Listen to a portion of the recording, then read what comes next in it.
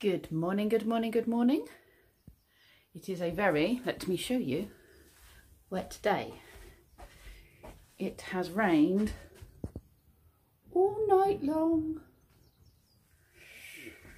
Oh well, we got everything we wanted to see done. So now we're just going to pop to a town. It doesn't matter if it's raining in a town because we're going to be in the shops.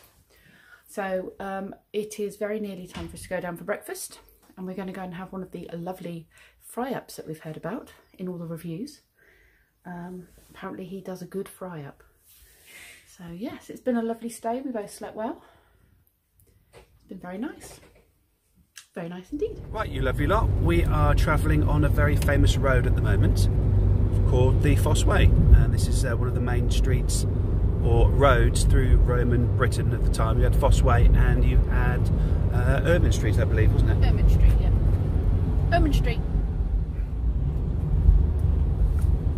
Here is one of our many, many straight roads of Fosse Way as we approach Stow on the Wold. Stow on the Apparently Wold. it's a historic marketplace. It is. So they said they have three gypsy fairs here a year, was that? Three gypsy fairs here, yeah? On Stow on the Wold. Yep. As we were passing, these are near Chipping Norton.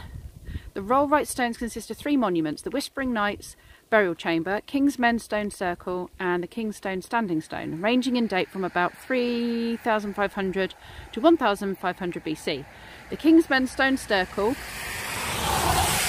was a gathering place for Neolithic people around 4,500 years ago. It is built of natural limestone boulders that were found within about 500 metres of the site. It originally formed a complete ring of stones with an entrance opposite the tallest stone marked by two portal stones. Its design is similar to the stone circles in Cumbria. Okay. So, we're going to go check it out. It is chucking it down. Did you put some money in the pot, lover? So they've got an honesty box here which is a pound for adults and children over seven. Free entry after dusk. Oh, there they are. Cool, look at the view.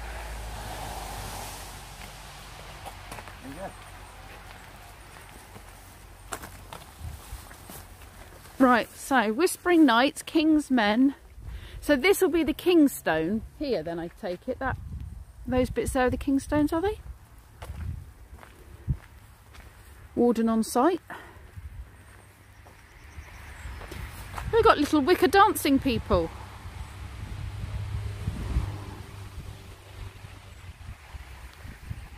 A dancing ring.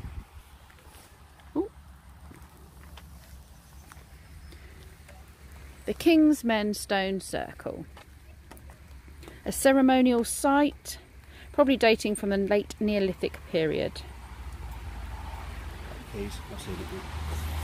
He's going back to the car, he's got soggy. There you go, you haven't got a raincoat have you? No. The ring of very pitted stones are irregularly spaced around a three, 30 metre diameter circle. Some of the lichens growing on the stones are thought to be 400 to 800 years old. Rollright is the easternmost stone circle in Britain. The stones are set in low bank, there's no ditch around it. About a third of the 70 odd stones were re erected in 1882. Antiquarian drawings and a small excavation suggest that the king or the ring of stones was originally a continuous wall of up to 105 boulders set cheek by jaw. Oh, cheek by jowl except for a narrow entrance opposite the tallest stone flanked by two portal stones standing just outside the ring. Stone circles of a similar design occur in the English Lake District, Ireland and possibly Wales, but not thus southern or western England or Scotland. The King's Men are so called from a legend about the witch who turned a king and his army into stone. The stones are uncountable. If you can count them three times, you get the same number each time, and get the same number each time, you can have any wish you like. The tallest stone is said to have been taken to make a bridge over a stream. It took 24 horses to drag it down the hill. Two men were killed on the way. After it kept flipping over and the crops failed, it only took two horses to pull it back up the hill. Hmm. Should we count them? One, two, three, four, five, six, seven, eight, nine, ten, eleven, twelve, thirteen, fourteen, fifteen, sixteen, seventeen, eighteen, nineteen, twenty, twenty-one. Is that two stones? 22, 23, 24, 25, 26, 27, 28, 29, 30, 31, 32, some missing, 33, 34, 35, 36, 37, 38, 39, 40, 41, 42, 43, 44, 45, 46, 47, 48, 49. Do you count that little one? 50, 51, 52, wow, 53, 54, 55, 56, 57, 58, 59, 60. Look at me, I can count. 61, 62, 63 and an offering 64 65 66 67 68 69 70 71 71 I counted and what did they say there should be 100 and originally 105 something like that and some moles Look at that view. It's a shame it's raining. So these are the Rollright Stones near Chipping Norton.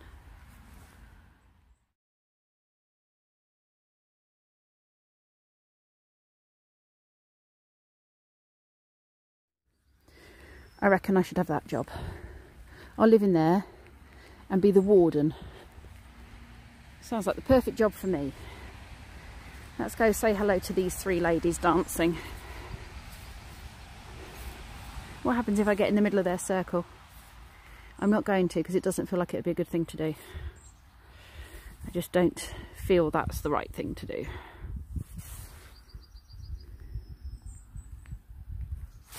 We'll get a picture with them though. That view though is gorgeous.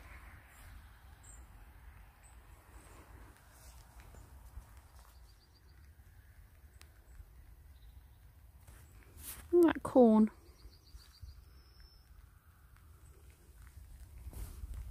Oh wow. There's a witch on there. On a witch on the hat. Some little offerings.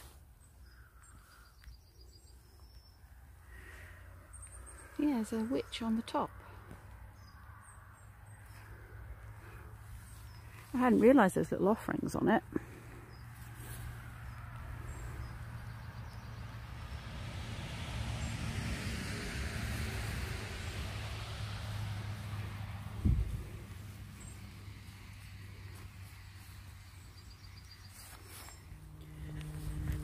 apparently the Whispering Knights are down this way.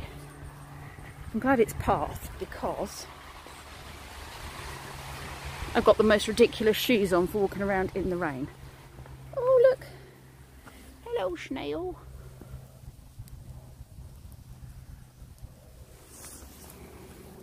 A lovely day to be a snail. Oh, hello snail.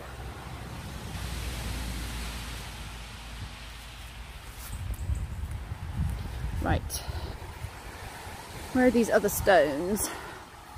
Let's go have a look. Now this is really good because it does mean it's accessible for buggies and wheelchairs because they've got this path down. Um, it's also good for days like today when it's a bit muddy and people have come in the wrong footwear. Um, don't get too too muddy and it's not slippy because you've got this stuff here to protect your feet Little kid come in with his multi multicoloured umbrella. It's very cute. So that's where we came in. You just walk round here and down this path. Get a wonderful view. And then down there are the Whispering Knights. Now, to me, they do look like statues huddled together, having a little whisper, whispering to each other. I'll read the uh, plaque in a minute. There's already somebody there at the moment, so I'll give them some space. What a place to stand, though. These rocks have seen it all, I'm sure.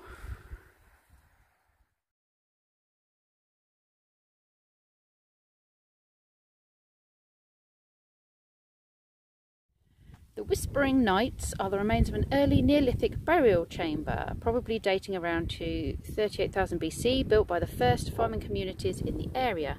This type of tomb is known as a portal dolmen.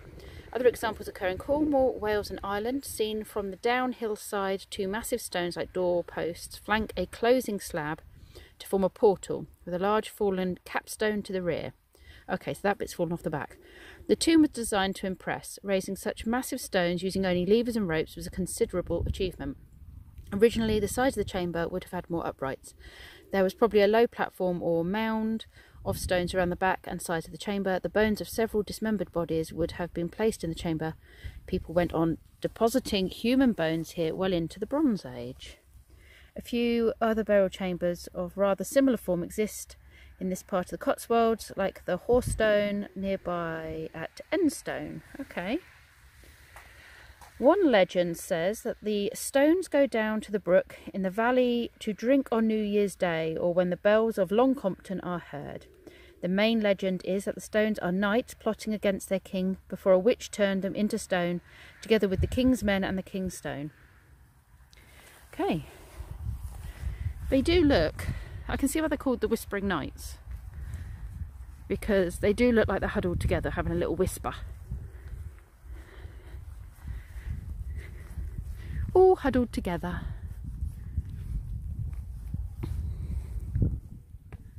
Hello, knights. So that that looks too big to be the capstone to go on the top. Surely that's don't know, it doesn't look very flat, does it? And those were the uprights. Or was this an upright and that one there is the capstone falling off the top, maybe? I don't know. Either way, can you imagine lifting those stones? My goodness. We'd use cranes and all sorts to do it now, but they just had ropes and pulleys. And just strength, I guess, manpower.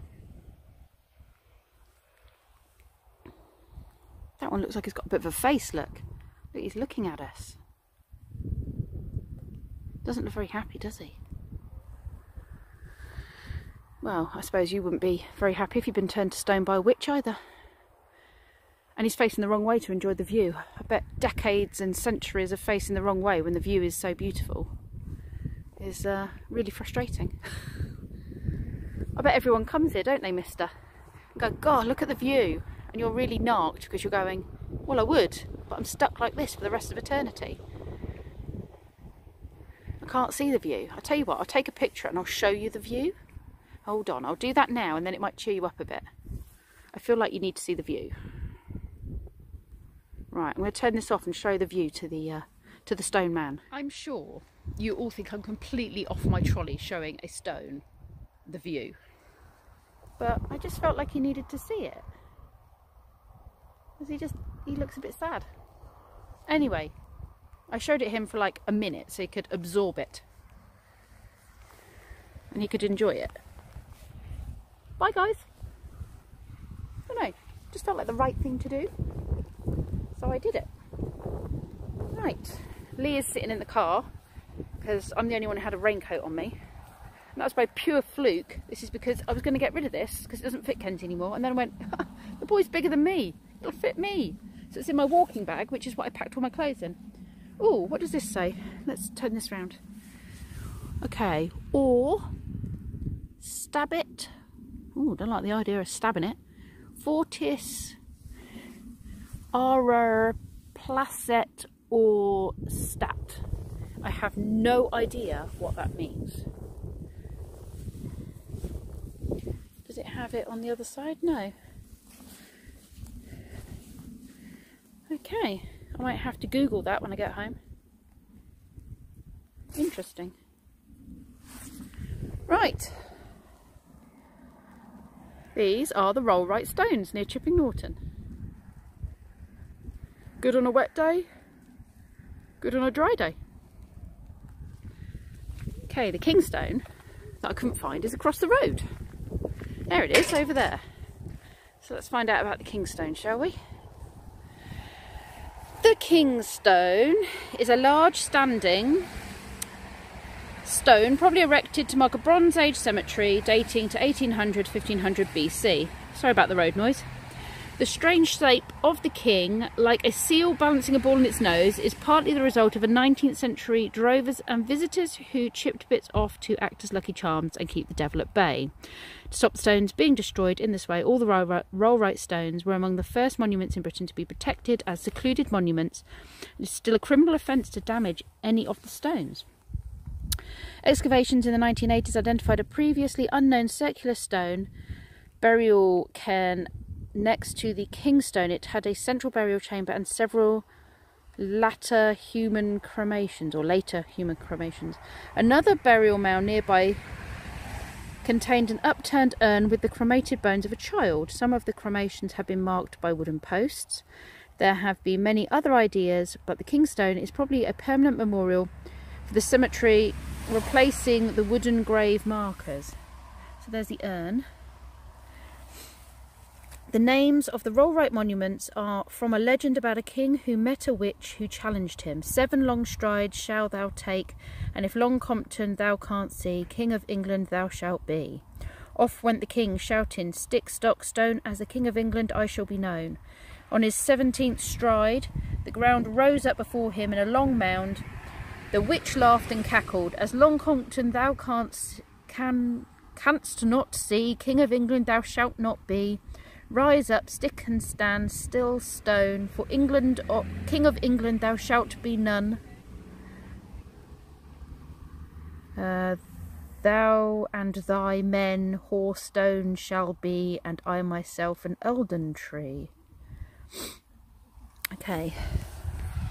Okay. Let's go check out the poor king who thought he could see Long Compton if he walked 17 steps. I can assure you 17 steps. He must have had big, big strides. This is more than 17 steps. There's no way you can see Long Compton from here. Silly man. Excuse me, my nose is starting to run now. It's delightful, sorry.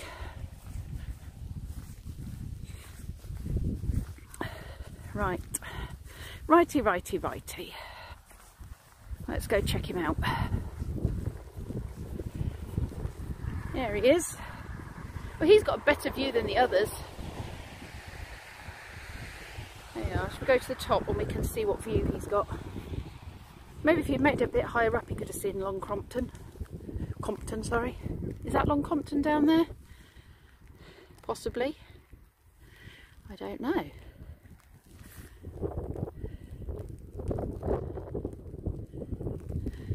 Didn't quite make it far enough, did he?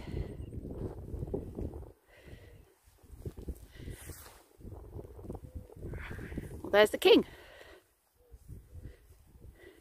Not with his knights, or with the witches.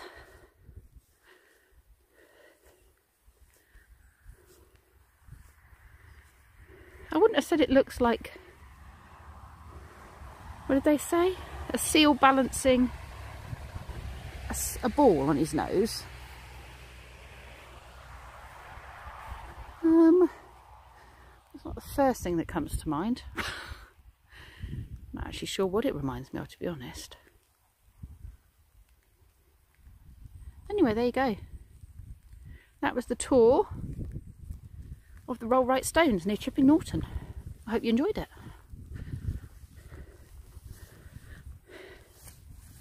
Right, look at my shoes. Soggy, soggy. We can go shopping now.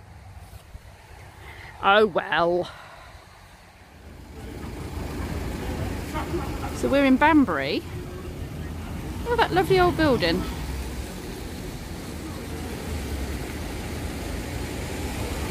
Nineteen. Oh, it's got two dates: fifteen thirty-seven and nineteen seventy.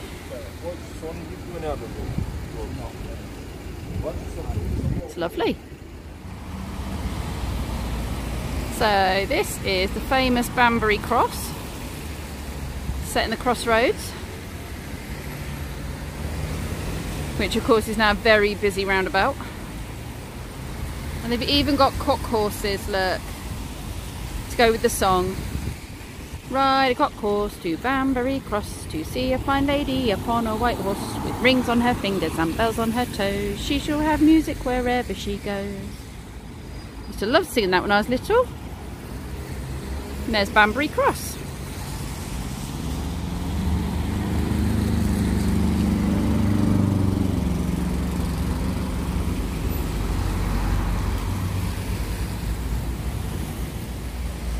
And there is the fine lady on her white horse. She has bells on her toes, rings on her fingers.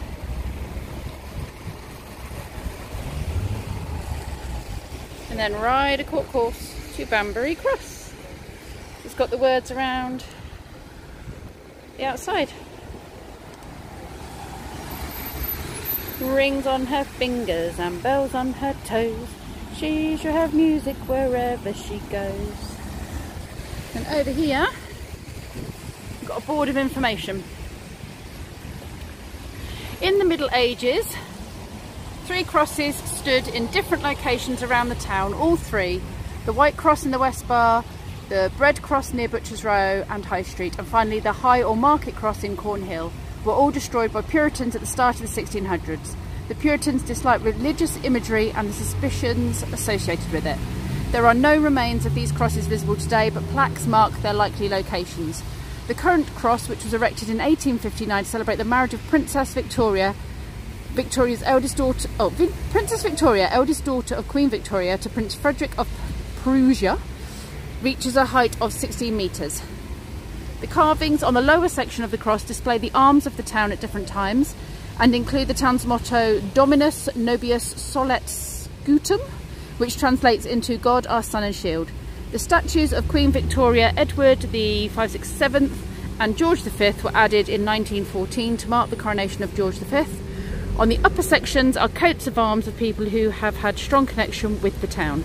Further information regarding the history of Banbury can be found at the Banbury Museum and Tourist Information Centre in Castle Quay Shopping Centre.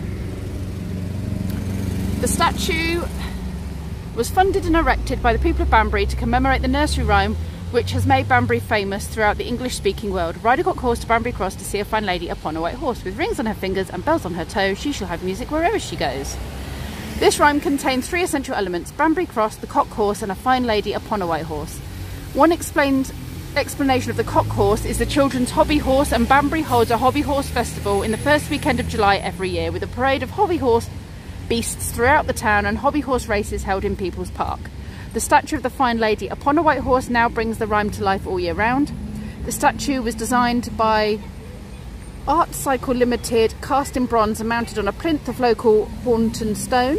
The horse, which was sculpted by Denise Dutton, Dutton, is modelled on a Welsh cob. The fine lady is depicted as a queen of the May and incorporates many symbols of spring. She wears a crown of 13 spring flowers, alternating daffodils and wild roses, symbolising the 13 ancient calendar months. A butterfly has landed among the flowers and a moth has settled on her hood. The bells on her feet are interpreted as both musical bells and by seven bells representing the days of the week. She drops petals from her raised left hand to bring us prosperity. The rings represent power. The frog represents metamorphosis the cycle of nature and community. The other symbol to look for is the sun, which has been a symbol of Banbury since the 16th century. So there you go. I'm sure any British people watching this will know the song. I'm not sure that necessarily the Americans will have heard the song.